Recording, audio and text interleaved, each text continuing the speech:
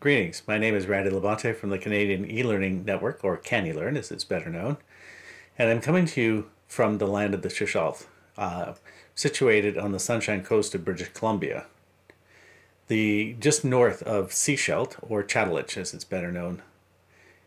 We're not sure what we'll be facing right now. The pandemic has caused a lot of confusion, a lot of uh, rethinking about how we might approach, and still no clear path forward. What we can expect is that we'll either be five days per week in class, but that's not necessarily likely when you listen to what's uh, being planned right now. Or it could be some combination of part time plus online. Or it could be, as in lockdown, online at a distance or remote learning five days per week the thinking around how we might be able to approach this really comes from our experience of not really using technology to drive education and learning, but the classroom and the connection with the teacher as being the primary driver, to that where we were forced to be all technology at a distance. So we think that the balance really should lie somewhere in between with what we would call blended learning, where it's a mix of digital and online as well as face to face in a class. So this is not inconsistent with where we're actually going in K to 12 education and education in general for that matter. So Microsoft did a survey internationally and found that 61% expected to be in some kind of a hybrid learning environment or learning situation. More importantly though, 87% of the teachers polled indicated they expected to use more technology. Well, in actual fact, this has already been going on quietly in K to 12 with a, a bridge towards a lot more technology infusion, but learning in digital learning environments. And where teachers have leveraged that, either whether they're located in a classroom or whether they're located entirely online, it's the blend of taking advantage of the physical space in class as well as the digital learning space that we can actually expand and improve our own practices. The critical question is how do I teach in that? models, models and theories that have shown and come to us through a lot of experience. We want to avoid this chaos that we had where we were trying to manage everything from one location, from one vantage point by one individual. And that's, yes, that's my actual office, but back a few years back. We also want to avoid the first go-to that most people have is to just put content online. So take the text, take the assignments, and put it in. Is what I call digital shovelware. We have learning management systems that have been built. They manage that quite well. We can track whether or not students have been involved with the materials, but it's really like spoon feeding. And it's not necessarily a very effective pedagogical model. So when we start to look as well to the principles of learning, is that the cultures of belonging and sharing through story are critical elements in how students can learn, whether they be youth or adult. So the design and the pedagogy that we choose is absolutely the most important thing that we can manage and really need to take a critical look at. Within the context of what the research says is good, has been effective, and shows promise. So to me, I was a math science teacher and I taught at secondary and then I got an elementary job in an elementary school and I figured out that really learning is all of these things and it's messy. I started to have chaotic classrooms, but there was so much learning that was occurring in them.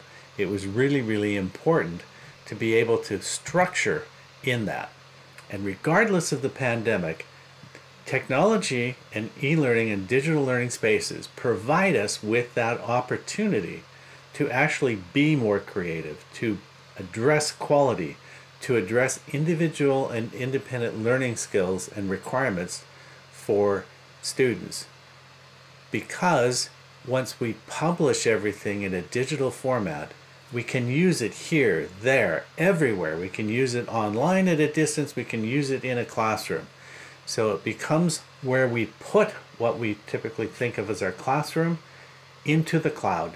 So the important part though is that we think of it from pedagogy, not technology. While technology can play an important role in learning, it alone cannot assure success.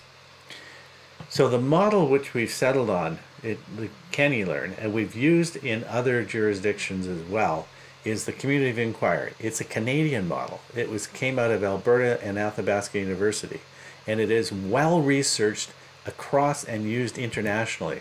And it describes how you create a teaching presence, a cognitive presence, and a social presence. Too often in the digital shovelware world, we think about teaching as selecting content, providing opportunities for students to interact with it, and then get some feedback loop. So typically that's publishing assignments, having students engage with them, submit them, and they're evaluated or assessed by a teacher.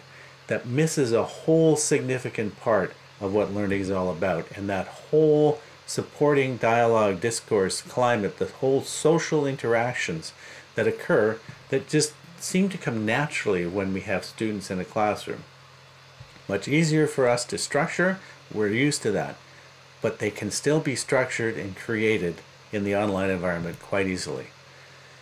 It's not unlike what John Dewey was saying for over a century ago when he was writing about the need for interaction as being a critical part of education and students constructing their own learning. It's not the rote paper and pencil kind of one room classroom situation. And even then, Dewey was a leader and people are still trying to get back to what he was arguing for. But at the same time, we can look at the context in e-learning in Canada. And Tony Bates is one of our leaders who has been one of the founders in terms of the pedagogy and the theories around learning at a distance or in digital online environments. And he talks very significantly about the need for interaction between and among teacher and student, between students, but also student and content. Too often we just look at the student and the content part and forget about the rest. So it's a really clear story about how this model fits. And, and fundamentally, it's our aim should be better, to be better than what we could be with just classroom or just online. It's how we can improve our ability to engage, to connect with, with our students through the use of technology. So the community inquiry is a very useful model in terms of looking at social presence and the building of community.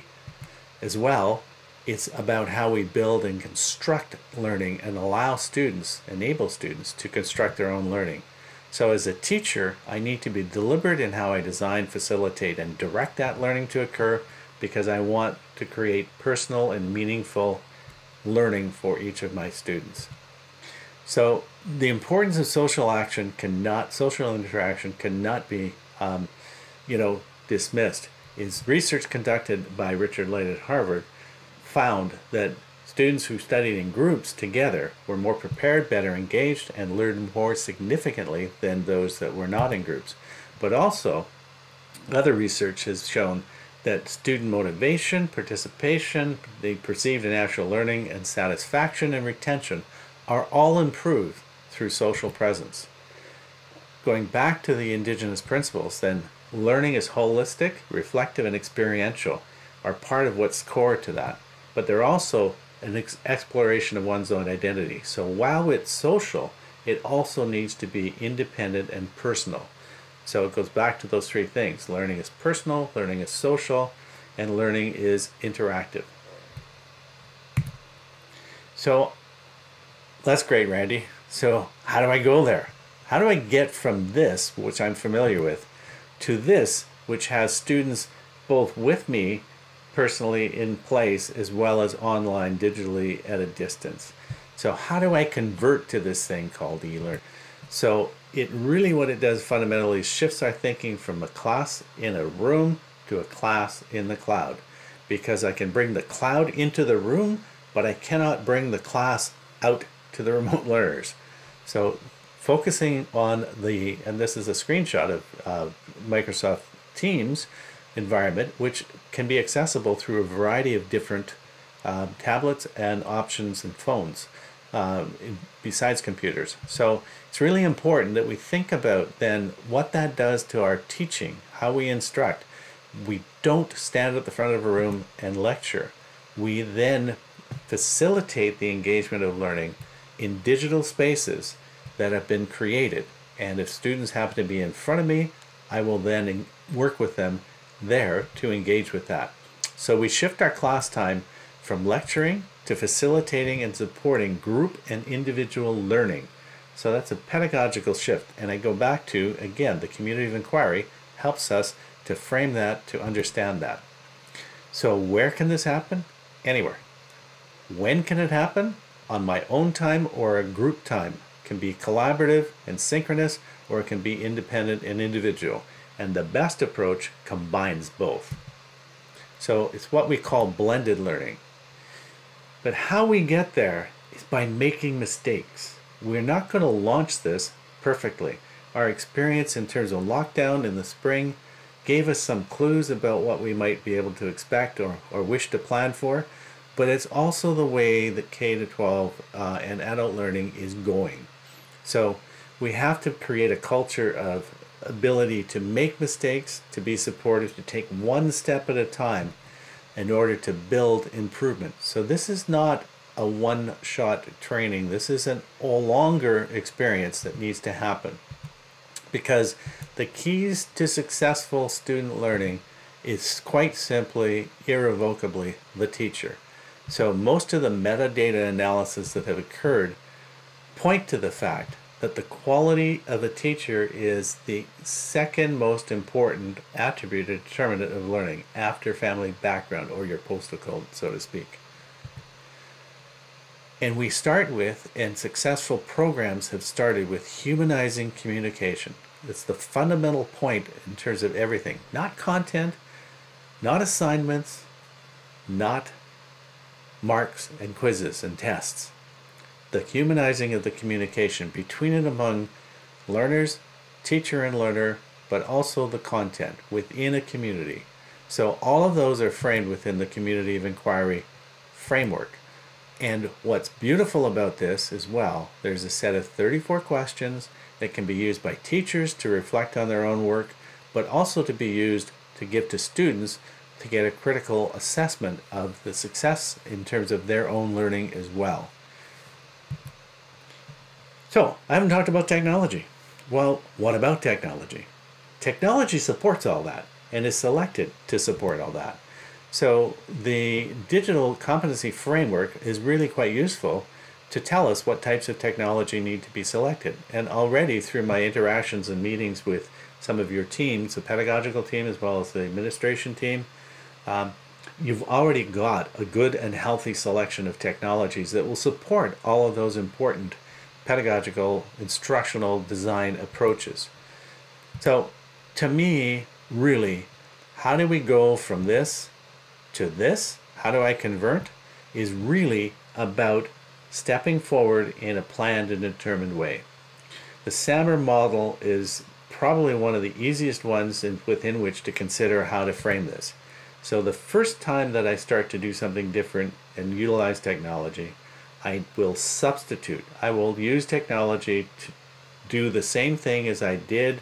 So I will digitize my content. I will post it in an online cloud environment so students from anywhere can access it. So that's substitution. I haven't really changed how I'm going to use it. I'm still thinking I'm in the classroom. Then we move to augmentation where I go, oh, wait a minute. I can do this differently now. The way in which this was set up I would like to apply it differently. So we begin to augment. And then, no, I want to change it. I want to modify it. I want to redesign some of this task because it works better now it's all in the digital domain for me to do it this way. And then finally, what we end up with is a redefinition where we allow for the creation of new tasks in this learning environment as we build confidence and success. That's going to take time for some well over the year of the next school year. For others, much more quickly, but our early adopters will help others as we move forward. So, again, Community of Inquiry and SAMR can help us to understand how we can move forward with this towards this class in the cloud, towards the ability to be agile, flexible, and to be able to make changes as we move along. I thank you.